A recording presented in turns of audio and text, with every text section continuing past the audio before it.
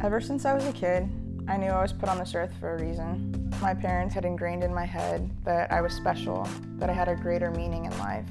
My mom always said I was her miracle child.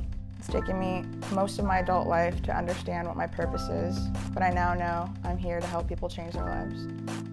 It's really simple. A healthy life requires healthy habits. Making a lifestyle change like this can be difficult for most, but it's not impossible.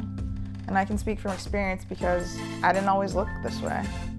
Although I've been an athlete for most of my life, I lacked the confidence of one. I was never happy with myself or how my body looked, and these feelings grew stronger after I gained a ton of weight in college. I didn't know who I was, and I felt super lost. In that time, I realized I could use my struggles to help others just like me. It wasn't until I decided to take ownership of myself and my life that I began this eight year long transformation journey. And now I'm here to share everything I've discovered along the way. In order to do that, I've created a program that lays down the framework I wish I had when I decided to change my life all those years ago.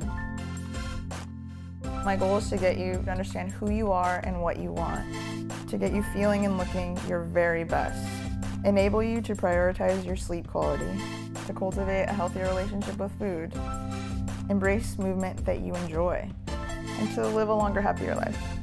For me, this goes beyond weight loss and personal goals. It's about changing the quality of your life. It's my mission to encourage you to reach your full potential by being more present in your life.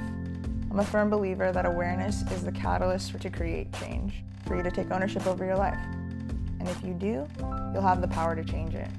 It's time to rise up and be the person you've always wanted to be. Be stronger than your last excuse.